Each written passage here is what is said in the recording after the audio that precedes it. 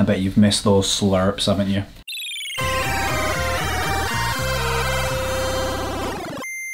You're watching Pat Plays, and I know it has been a while, and I know that the title of this video and the fact that I've got these uh, pumpkin Halloween themed decorations up behind me is a little bit ridiculous because, you know, Halloween was, what, two, three weeks ago or something now. But unfortunately, I've not really been able to shoot any of these videos for a while, and I definitely wanted to do something that was sort of slightly Halloween themed because, as you all know, it's one of my favourite times of year. So even though this is supposed to be like a Halloween episode and you'd think that I'd be like talking about specifically horror related things, that's not what I want to do because I mean in every single episode of Coffee and Nostalgia that I've done so far, I've pretty much talked about horror in one form or another in every single one of those videos. So in this one, I just wanted to sort of ease myself back into doing these. Hopefully I can carry on doing them a bit more regularly like I was before. And I wanted to do something simple, just going through all the Blu-rays and DVDs and physical media that I've bought throughout this entire year so far. So I guess you could call it like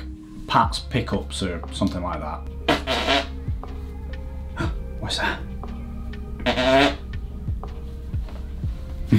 So without further ado, let's crack on and take a look at the things which I have treated myself to throughout this year. So first up is something that I've actually had my eyes on for years and years, but I've never been able to actually get hold of it. And that is this Japanese special edition release of uh, Gremlins and Gremlins 2 and as you can see this comes with a limited edition figurine uh, attached to the front of it of Mohawk from Gremlins 2 and I remember seeing pictures of this box set when I was younger uh, on the internet and I've never been able to find it anywhere or find any information about it. So of course all the packaging and all the information is in Japanese. You open it up and you get the two separate films in their own separate cases and when you open them up inside they both have these information cards which again are all in Japanese. But from what I can put together I think that this limited edition box set had a competition where you could fill out this form form that's inside one of these cases and then you'd send it in for a chance to win this Gizmo doll which you can see the picture of on the front of the packaging. And the cool thing about that Gizmo figure specifically is that it's the one that was made by Jun Planning which is a Japanese toy manufacturer and they made the Mohawk Mogwai which as you've seen I already own that and this was the Gizmo replica which would go alongside with that Mohawk replica. So next up we've got another eBay purchase from earlier this year and that's that's this Fast and Furious 1 to 5 uh, Blu-ray box set. So this includes a Blu-ray and a DVD, each of the films in the franchise from 1 up to 5, which in my opinion are the only ones worth watching. But then again, that does include the fourth film and that one is absolutely terrible. Just stay away from that. So the real reason that I bought this box set in particular is because I wanted to have Fast and Furious 1, 2, 3, and 5 on Blu-ray. Next up we've got this Blu-ray media book uh, release of the Blomkamp trilogy and this set includes Blu-ray discs of District 9, Chappie and Elysium. So it's not exactly a trilogy box set but I always call them the Blomkamp trilogy because they're all loosely set within the same universe and they all share the same sort of aesthetic and look especially with the robotic technology which follows throughout all of the films. And because because this is a media book set, it also has sort of like a built-in booklet section to the case with tons of behind the scenes information about all three films and some concept artwork and production stills. Next up is another eBay purchase and this one I sort of bought on a whim. Normally I go for the buy it nows are the best offers because I just can't be asked bidding but with this Tarantino Blu-ray box set in particular I'd seen it going for well over a hundred pounds and over $200 on American listings and somebody put a listing of it up with a starting bid at about 17 pounds and I left it right up until the last minute and nobody had bid on it. So I just thought sod it I'll just put the first bid on and I got it. So I'm guessing that the person who was selling it didn't realize how potentially rare this particular box set is and how much it's supposed to go for. So this box set is called Tarantino XX and it's his first 20 years of films. And one of the main things that drew me towards it was just the artwork artwork throughout this entire set is absolutely awesome. And the reason I wanted a Tarantino box set in the first place was because there's a lot of his films that I haven't seen but I bought the box set on purpose to make myself watch his films because I do love Tarantino movies, but there's just so many that I've never bothered giving my attention to. So unfortunately, it doesn't include all of his movies, but I'm pretty sure there's only one or two that aren't included in this set. So since this is a Halloween episode, let's actually talk about a horror franchise. So as far as limited edition and special edition box sets go, uh, the Nightmare on Elm Street franchise haven't really been treated as well as say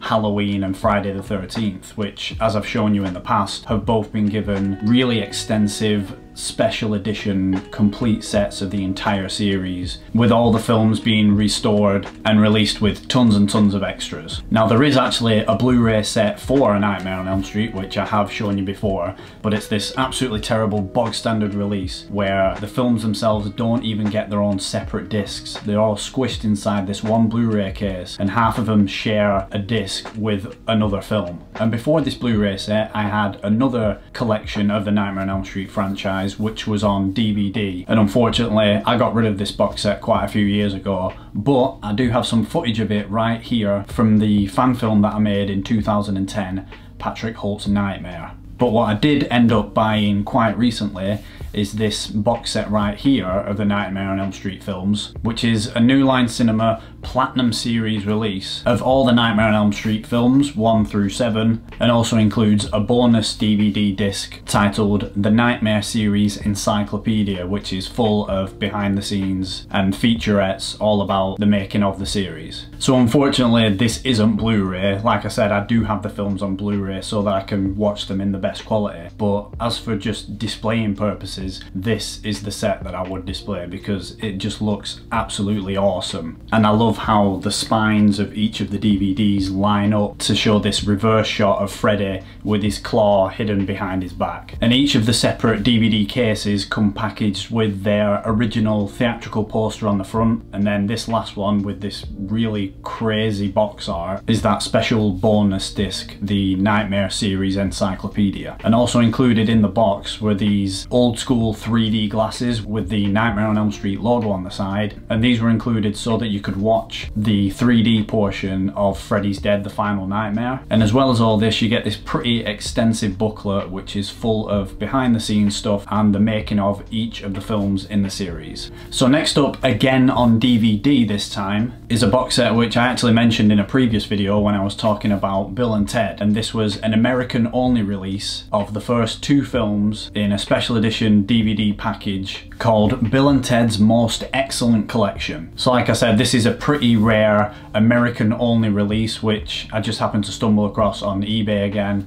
So I jumped right on it and got it for about 20 quid something like that. And I'm really happy that I did because it's such a cool little collector's item. And when you open the set up as you can see there's some of the historical figures and there's Death and he's looking really weird. I don't know what that little smile is all about so inside here you get three DVD cases. Of course you've got the first film, Bill and Ted's Excellent Adventure. This one looking slightly different to the UK release. Then you've got Bill and Ted's Bogus Journey on another disc. And the box art that's used for this is exactly the same as the UK release. And then finally you get a third DVD case which is titled the Non-Bogus Disc and this whole thing is made out to look like a demo tape for the Wild Stallions music. And this includes tons of old school making of footage for the films, as well as the very first episode of the Bill and Ted cartoon series. And staying on the topic of Bill and Ted, I also got these two steelbook releases of the first and second film. And these are absolutely stunning limited edition releases from an American company called Shout Factory. So again, both of these are US imports. And these are honestly some of the best looking steelbooks that I've ever seen. I honestly just love everything about these steel books. I love the colours that they've chose for both of them.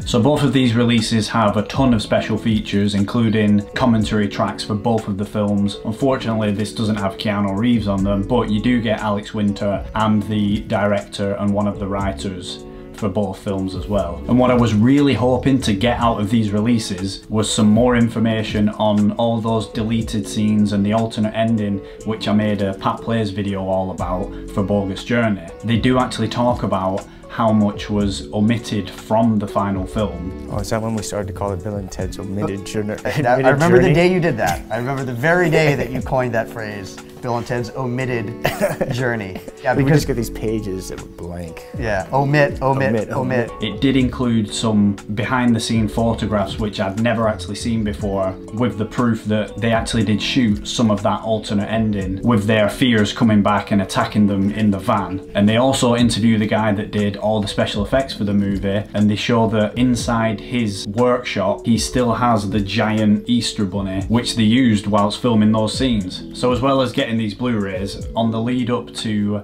Bill and Ted 3 Face the Music coming out into cinemas, I also pre-ordered this movie book, uh, Bill and Ted's Most Excellent Movie Book which is just a huge collection of behind the scenes photographs and information on all three films, including publicity stills and character bios for all the films. So it's a pretty good read with a lot of new information about these films and especially about the latest one. And I'd say it's a must have for any Bill and Ted fan. But unfortunately again, it didn't delve deep into those deleted scenes from Bogus Journey, apart from this one Polaroid shot of the 8 foot Easter Bunny. And this wasn't the only movie book which I got this year. I also purchased this Back to the Future Ultimate Visual History, which is the revised and expanded edition which they've released for the 35th anniversary of the Back to the Future trilogy. And this book is absolutely awesome and definitely a must-have for any Back to the Future fan. And it makes that Bill and Ted book just look like a kiddie's picture book or something because this is just absolutely massive. You also get a few sort of prop replicas from the film. So you get this holographic version of the photograph which Marty holds in the first Back to the Future film, which make it look like his brother and sister are being erased from existence. You get a copy of the letter which Doc writes in 1855 and leave to be delivered to Marty at the end of Back to the Future 2. You get a copy of the newspaper as seen in Back to the Future Part 2. You get the letter which Marty writes for Doc in 1955 warning him about being shot when he goes back to the future and just tons and tons of other things like that, making this just an absolutely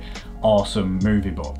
And of course, the 35th anniversary of Back to the Future can only mean one thing, and that is another Back to the Future Blu-ray release for the 35th anniversary. So as well as it being the 35th anniversary, I actually had a pretty decent excuse for buying this set of films yet again, and that's because this is the first time that all three have been released in 4K. And of course, since they're some of my favorite films, I had to splash out a little bit more and get the Zavvi exclusive Steelbook version of the set, which is just awesome because once you line all three of the Steelbooks up together, it makes a full profile shot of the DeLorean with Marty inside. But even though the artwork on the front looks cool, for me it's the film shots which they've chosen to use on the back of the steelbook, which I think are the coolest part of it. And also on the inside of all the sets as well, they've used some really good shots. So with all three, you get the film obviously on a 4K Blu-ray disc, and then you get all the special features on a standard Blu-ray. And all of these are the same special features which have been released in all the other countless releases of Back to the Future, apart from in the case of the third film, within that steelbook you also have a third disc and this one is an extra Blu-ray disc with special features that have been added specifically just for this set and a lot of them are all quite recent so there's a documentary about the Back to the Future musical which is quite recent and funnily enough there's a featurette on this disc with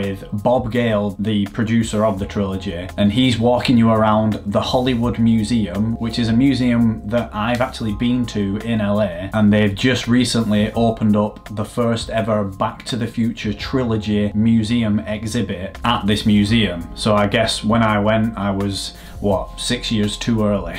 and the reason I'm bringing this up is because the one screen used DeLorean which I haven't seen, which is the Part 3 DeLorean that I've told you all about, which is privately owned, has actually been loaned by the private owner to the Hollywood Museum and is currently on display. So as long as it stays there for a good few more years, I might actually have a chance of completing the task of seeing all the remaining screen used DeLoreans in person person.